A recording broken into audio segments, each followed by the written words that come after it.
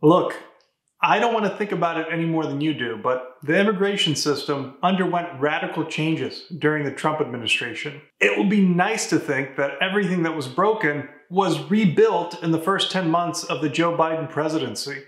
But that's just not true. Much of what was done under Trump is going to take years to undo. But more importantly, America is in the middle of a very volatile political period. What was seen in the Trump administration could come back. So, one question that we have taken to asking ourselves whenever we do anything here at Frontera Tech Law is how can we be ready for the worst that the US immigration system has to offer? In this video, I provide you with a partial answer. Here are 11 tips that you can use for any immigration form that you're filing with the USCIS, and you can probably apply these tips to any time you're interacting with the US immigration system. As always, if you like this, please subscribe, like, and share. I'll see you on the other side of the bump.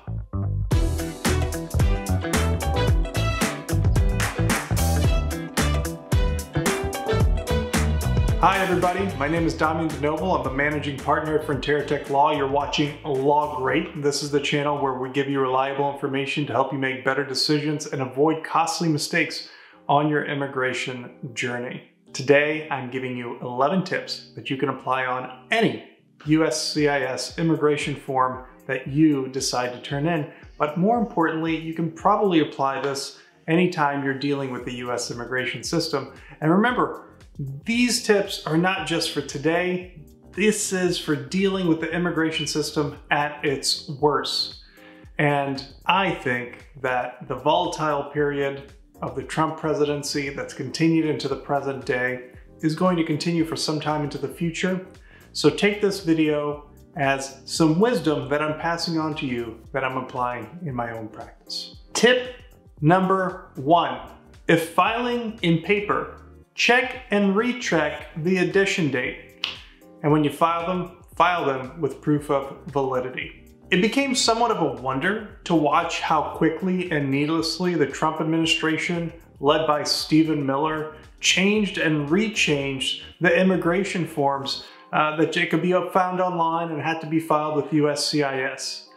Sometimes they seem to change weekly, and we were always having to follow updates from USCIS in case a form was changed in the middle of the night. We became very intimately acquainted with the fact that all forms have from USCIS have two dates of consequence. One is in the top right corner, which tells you when the expiration date of a form is, and the other is on the bottom of the page, which tells you what edition the form is. The expiration date has no bearing on the forms whatsoever. You can't abide by it, so just learn to ignore it. The rule is you have to check the edition date, which is at the bottom of the page. And then you actually want to check the USCIS page that that particular form you're looking at is hosted on and read what they say about what edition can be turned in when. And when you've done that, what you want to do with your filing, if you're filing in paper, is actually include a copy of whatever that USCIS page says with your filing so that you can say, hey, this form should be accepted. I don't know how many times I've turned in a form during the Trump presidency that was supposed to be accepted because it was the correct edition date, and it would be rejected with a claim saying that actually that edition date was no longer good, even though at the time that we filed uh, what was up on the USCIS page, that guidance indicated that we had correctly filed the form. So I'm not saying this is happening during the Joe Biden presidency, although I'm sure it could be, but from now on our rule is that we always file edition proof of validity, so meaning we, we actually take out that web page from USCIS for that form with, with, with the form that we're filing. It's just what USCIS made us do. Okay, let's go on to tip number two. Tip number two, Put in an index of evidence whenever you file anything with USCIS. I don't care if it's a request for evidence, I don't care if it's a rote I-130. I can't overstate how important an index is. What is an index? If you've ever looked at the index of a book, it's a list of things that you have filed with your application. So if you filed a passport copy, if you filed passport photos, if you filed a G28, if you filed a credit card authorization, if you filed a check, go ahead and list that in the index. Uh, there is a uh, uh, uh example here, right, alongside me, that hopefully the editor has put in, showing you what that might look like, okay? The reason that you want an index in there is because USCIS will send out requests for evidence asking for things that you have already sent in. They do it all the time. And so when you have an index, uh, you know, you can send back in your request for evidence reply, hey, here's the stuff you asked for. I'm just including the index to show you that I actually already filed it. Which segues well into point number three. Whenever you send anything to USCIS by paper, scan it, have a copy. Scan the tracking number label, scan your check, scan everything that's in your package. Again, during the Trump presidency, USCIS loved to do the thing where, they, uh, where they'd say, you didn't send XYZ. It happened a lot because the packages we were having to send, especially with the public charge form, were so thick that it seemed like USCIS uh, would lose whatever we'd sent with a particular form because it would get stuffed in the package of another form sent in that application. So for example, we'd send evidence for an I-130, whoever was unpacking this giant package of stuff that included the 944, an affidavit of support, a 485 adjustment of status, they would put that supporting evidence in with another form and then send us an RFE for the form that no longer had evidence attached to it. Yes, infuriating, but that's just how it is. So from now on, the rule is scan everything. Now we scan everything anyway. There was a tiny period during COVID when we weren't in the office where we didn't scan some stuff. And uh, I can't tell you how much I regretted that. You know, even though it didn't bite us in the butt in that particular instance. But go ahead and just make sure you scan anything you send to USCIS. And this way, as a bonus, you'll have a record of stuff you sent in and you might not even have to, you know, Freedom of Information Act for your A file because you'll know what's in there. Very closely related. Tip number four, and uh, don't use the USPS when you send stuff to USCIS. A lot of stuff you send is time sensitive. The USPS is run by a clown uh, in DeJoy who has uh, intent of breaking down that uh, ages-old institution. Benjamin Franklin is rolling over in his grave. Pragmatically speaking, this means that you, as a filer with an immigration form that you're sending that's paper, should only be using courier services. I like FedEx. Uh, FedEx still guarantees things. They can send things overnight if you get it in there early enough in a day. But more importantly, they just won't get lost. And USPS Seems they lose things a lot. I haven't used them in several years. I know USCIS, however, uses them. And when they use USPS to send me things back for my clients, uh, they are late all the time now, especially in the past couple of years. So don't make things late on the way to USCIS at least, and do not use USPS. Tip number five, and again, this is you'll see a theme here. This is time sensitivity. I like the Form G1450. This is the credit card authorization form. I think it's good in a lot of circumstances, but there are certain things it's not good for. For example, if you're an OPT student, you shouldn't pay for things with a G1450.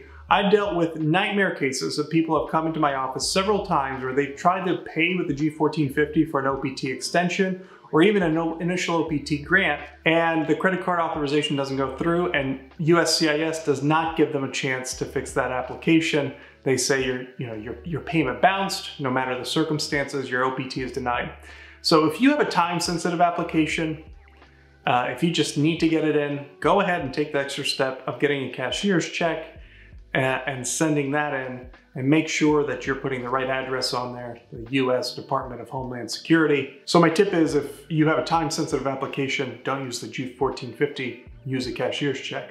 That being said, I like the G1450 for a lot of things, so don't think I'm saying that. All right, so all of this so far, the first five tips have been with paper applications right? I mean, the, the Trump administration really waged war. They, they, they waged asymmetrical paper-based warfare against immigrants. And uh, a lot of what they did can be avoided by simply following tip number six. If you can, file online. Now I know I have a video floating around here somewhere saying, hey, the online system's bad. And that's because that video was from 2018. Since then, I think the USCIS online system has made great strides. And at the same time, the USCIS paper system has gotten so much worse, especially during the Trump administration. So tip number six is file online. I have a whole video on how you can create a USCIS My account. Put it up here. I have a whole video on how you can uh, actually file an application on USCIS and the Department of State. You can check all those out. I am now a big proponent in a sharp switch of filing online because of all these issues that you run into uh, when filing paper forms. Okay, let me take a minute here. Guys, give me a thumbs up, subscribe. If you like this, comment, all this helps. You know, it's been the quiet for the last few videos. Go ahead and let's make this video blow up. Please comment, give me a thumbs up. I know I'm telling you good stuff. You should do it. Help me out. Tip number seven. Now we're moving into the digital world now. Okay. Sometimes you still have to use the USCIS hotline. Tip number seven is know how to get through to a live operator. In fact, I've made a whole video about that. If you want to know the magic word, hint, it's InfoPass. And how to use it, check out this video here. That's tip number seven. You need to know how to get through to a live operator. All right, tip number eight. So whether we're talking about online filing or paper filing, you need to be aware in 2021 where your form is getting processed, meaning what processing center. Depending on what state you're in and what form you're filing, you are going to be assigned a processing center, right? You're kind of pre-assigned one. Well, we are four or five years into the breakdown of the immigration filing system, COVID-19 made it worse.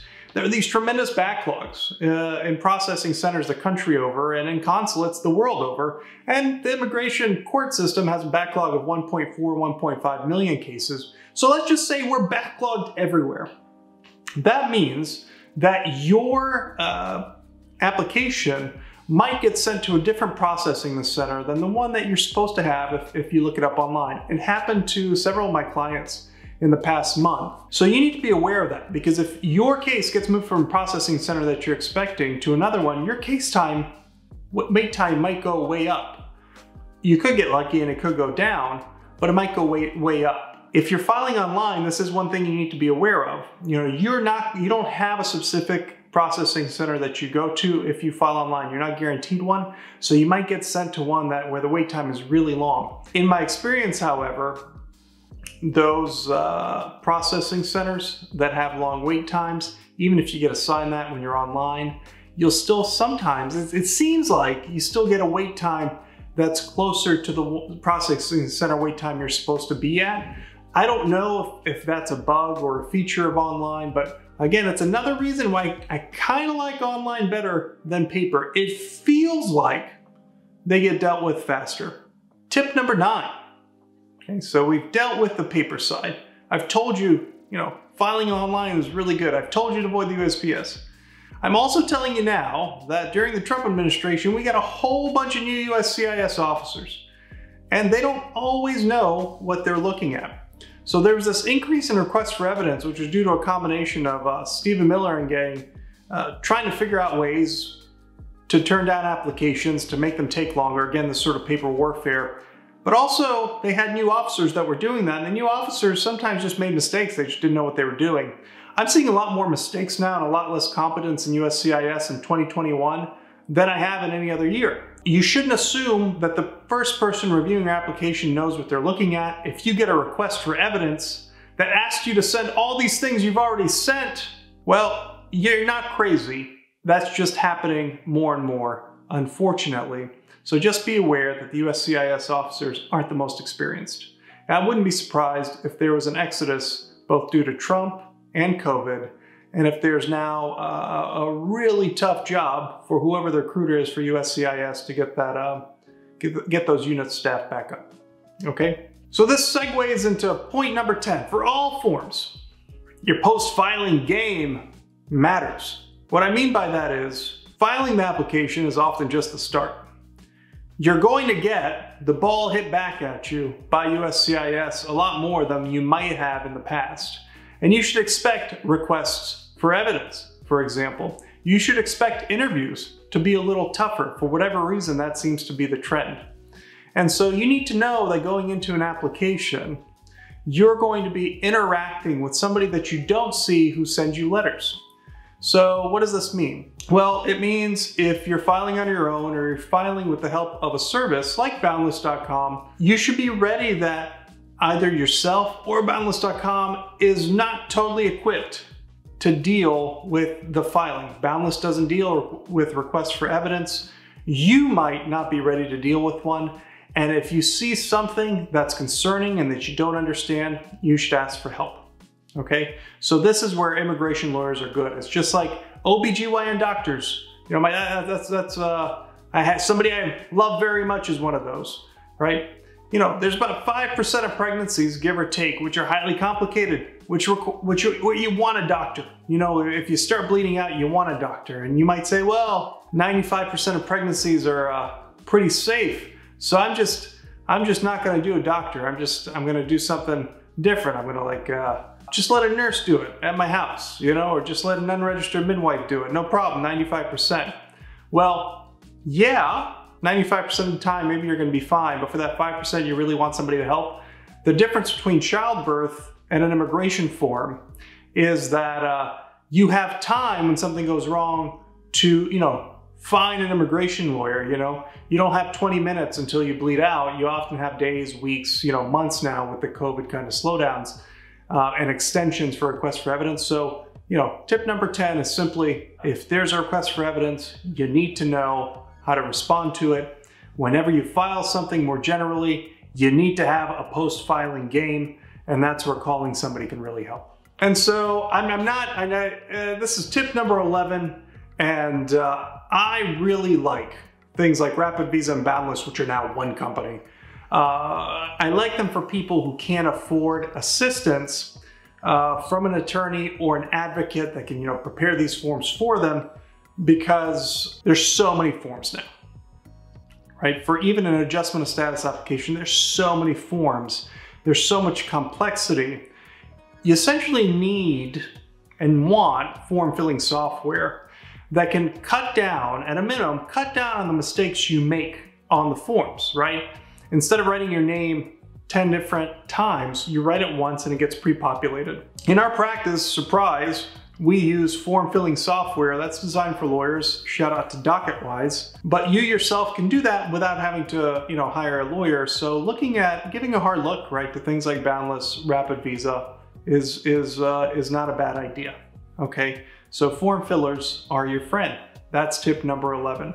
I don't want to hold that back because again, this is a channel where I give you reliable information to help you make better decisions and avoid costly mistakes, but also save money on your DIY journey. And so give those things a hard look, okay?